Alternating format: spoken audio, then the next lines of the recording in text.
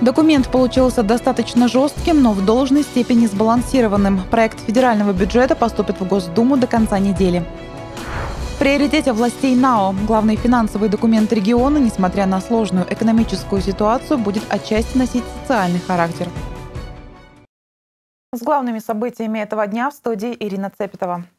Основные решения по проекту бюджета страны 2016 приняты. Об этом заявил премьер российского правительства Дмитрий Медведев. По его словам, проект федерального бюджета поступит в Государственную Думу до конца недели. Бюджет, как известно, получился достаточно жестким, но в должной степени сбалансированным и адекватным текущей экономической ситуации. Есть изменения и в макроэкономических параметрах. Динамика меняется. Во второй половине года наметились тренды, которые свидетельствуют, что изначальные прогнозы в значительной степени совпадают с тем, что происходит. Но, тем не менее, сохраняются и вызовы, заявил премьер-министр России Дмитрий Медведев. Напомню, впервые за много лет федеральный бюджет станет не трехлетним, а однолетним. Документы должны внести в Госдуму до 25 октября. Бюджет Ненецкого округа 2016 года, несмотря на сложную экономическую ситуацию, будет отчасти носить социальный характер. Так, региональные парламентарии на предсессионном комитете решили сохранить в бюджете 2016 года социальные выплаты людям высокого возраста. В частности, речь идет о выплатах ко дню пожилого человека. О том, какие еще социальные законы будут работать на территории Ненецкого округа после принятия на сессии депутатами окружного собрания, расскажет Любовь Пермякова.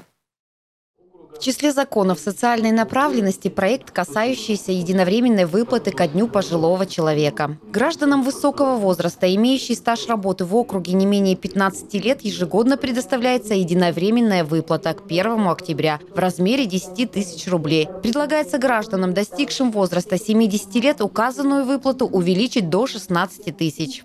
Это категория граждан, относящиеся к детям войны согласно которому к Дню пожилого человека э, в округе существующая единовременная выплата в размере 10 тысяч для э, этой категории граждан старше 70 лет, которые проработали на территории округа 15 лет, э, будет выплачиваться 16 тысяч рублей. То есть доходность э, вот этих людей старше 70 лет увеличивается э, с 1 января 2016 года на 500 рублей в месяц.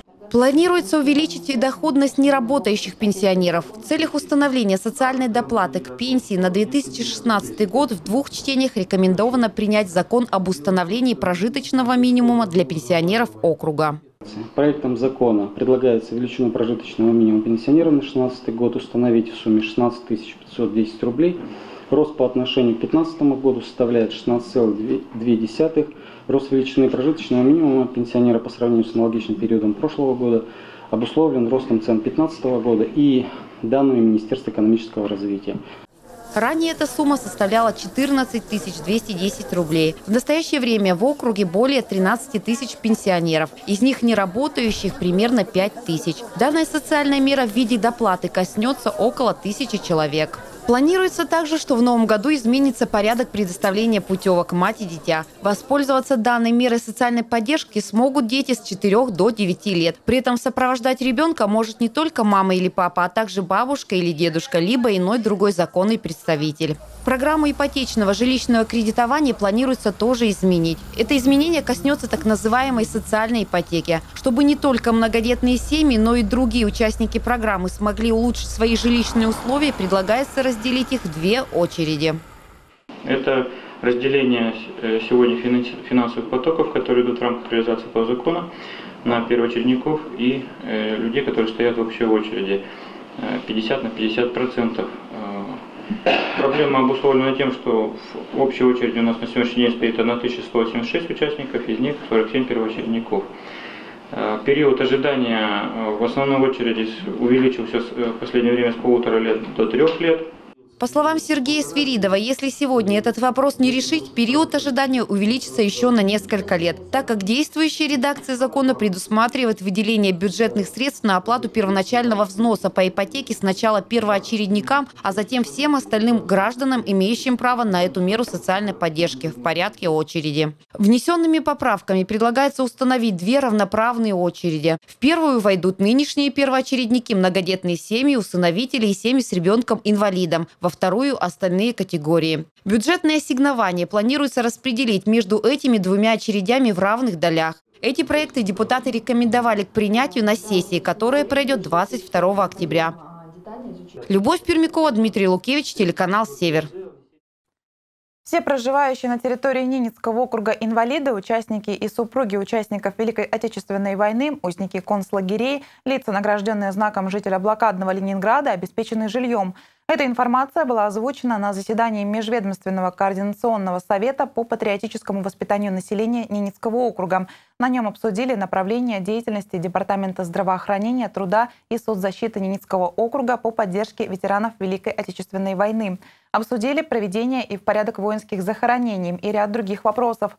Говоря о направлениях деятельности Департамента здравоохранения, труда и соцзащиты Ненецкого округа по поддержке ветеранов Великой Отечественной войны, тружеников тыла и детей войны, стоит отметить, что в этой части работа ведется по трем основным векторам – предоставление мер соцподдержки и оказание социального обслуживания, а также обеспечение жильем – по словам представителя департамента, в нашем регионе нуждающихся в жилье инвалидов, участников и супругов участников Великой Отечественной войны, узников концлагерей, лиц, награжденных знаком жителя блокадного Ленинграда, нет.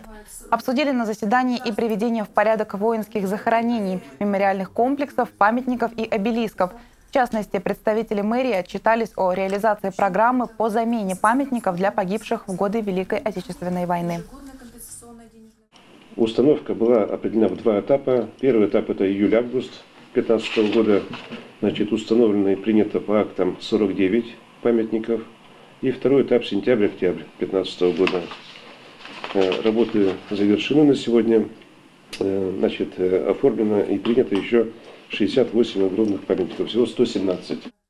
Кроме того, обсудили вопросы о реализации в образовательных организациях Ненецкого округа концепции федеральной системы подготовки граждан России к военной службе на период до 2020 года. Со второй четверти школьники Неси и Бугрино будут учиться уже в родных поселках. Ремонтные работы близятся к завершению. Образовательный процесс в школах стартует в начале ноября. Аварийных домов на Ринмаре стало больше. Окружной реестр ветхих и аварийных строений пополнился пятью многоквартирными домами. Школы в Бугрино и Неси после ремонта планируют открыть в ноябре. Об этом сообщила заместитель губернатора Ненецкого округа Галина Медведева. По словам главы департамента образования, в школе поселка Бугрино ремонт строители закончат 7 ноября, а в селе Несть к 1 ноября. В Бугрино из-за аварийного состояния по предписанию надзорных органов были закрыты школа и детский сад. Для занятий было предоставлено здание администрации Колгуевского сельсовета, помещение которого переоборудовали под классы и группы для дошколят. До начала первой четверти ремонт сделать не удалось из-за трудностей с транспортировкой строительных материалов на остров. Их завезли в навигацию только в августе. Административное здание утеплили, поменяли систему отопления и выполнили косметический ремонт. Основной объем работ уже выполнен. Сейчас бригада маляров красит красят стены. Да, ремонтные работы продолжаются. 20 человек на объекте работают. Дети у нас учатся, 10 э, детей учатся в школе-интернате. 23 уже октября должны прилететь обратно в Угрину на каникулы. Это у нас третий, четвертый класс. А первый, второй класс у нас учатся в Доме культуры. В стадии ремонтных работ находится и школа Селанейсь. Напомню, в ходе летнего ремонта обнаружилось, что необходимо срочно, кроме запланированных мероприятий, провести усиление несущих конструкций и решить проблемы с полами. По плану школа открываться будет 27 числа. Приемная комиссия прилетает с Наринмара. У нас было нарушение фундамента. Фундамент полностью по периметру заменен, утеплены потолки все полностью. И переборка шести кабинетов полностью было перебирали. Ну и где перебирали, там был косметический ремонт. Укрепление стропиловки и ремонт крыши. На время ремонтных работ 22 старшеклассника из 10-11 классов Невской школы были отправлены на обучение в Ненецкую школу-интернат имени Пырерки. Остальные классы остались обучаться в НИСИ. Для них выделили помещение в общежитии и сельском интернате. 23 и 27 октября ребята с Бугрино и НИСИ повезут домой на осенние каникулы. Со второй четверти школьники будут учиться уже в родных поселках. А это значит, Аварийных строений в Наридмаре стало больше. Окружной реестр ветхого и аварийного жилья пополнился пятью многоквартирными домами. Межведомственная комиссия при мэрии провела оценку объектов жилищного фонда на предмет соответствия их нормативным требованиям, предъявляемым к жилым помещениям. По ее результатам около 200 жильцов старого фонда переедут в новые квартиры до конца 2019 года. В реестр аварийных и подлежащих сносу домов вошли двухэтажные строения 60-70-х годов постройки. Это дома по адресам улица Ленина, 32 и 45А, Пионерская, 15, Сапрыгина, 17 и Южная, 22. С момента принятия решения о признании домов аварийными и подлежащими сносу собственники в этих домах освобождаются от обязанности по уплате взносов на капитальный ремонт общедомового имущества. Всего в настоящее время, по данным Госстройжилнадзора НАО, на территории Нарьинмара предстоит расселить 41 аварийный многоквартирный дом. Также межведомственная комиссия вынесла заключение о необходимости проведения капитального ремонта многоквартирных домов по улице Рабочей под номерами 20 и 37А. Капитальному ремонту подлежит и дом героини нашего следующего сюжета. Агафья Лапина более 45 лет прожила в Лабожском. После выхода на пенсию женщина решила сменить место – сельский дом на комфортную городскую квартиру, купив жилье в микрорайоне «Факел». Все бы хорошо, но 2015 год преподнес пенсионерке неожиданный сюрприз. Угол многоквартирного дома стал проседать, покосились балконы. Многочисленные обращения в управляющую организацию и местную администрацию заканчивались либо обещаниями о скором ремонте, либо отказами. Но после долгих скитаний решение вопроса все же нашлось. Алена Валей с подробностями. Раньше о скитаниях по различным инстанциям в поисках ответов Агафья Лапина знала только по историям знакомых и из телевизионных передач. У меня никаких нету проблем. Вот э, год начался, я увидела, что угол падает. Мне стало страшно. Я думаю, что такое. Пошла, э, я так его стала пока так смотреть. Нет, все больше и больше падает. В мае Агафья Алексеевна начала бить тревогу, оббивала пороги управляющей компании и местной администрации. Посетила квартиру пенсионерки и комиссия при администрации поселка Искателей. Пришел этот Коваленко, ну вот, с комиссией. Посмотрели, можно жить. Ну, жить можно хорошо. Угол падает, а я боюсь. Я жить хочу. По заключению комиссии проблем со стенами нет. Нерешенным оставался только вопрос балкона. Так как жилплощадь в собственности, а балкон является частью квартиры, то и ремонтировать его должен владелец за свой счет. Но есть ряд исключений. Балконная плита, а в данном случае, если дом деревянный, вот эти уступающие балки, которые держат этот балкон, относятся к общедомовому имуществу а, многоквартирного дома.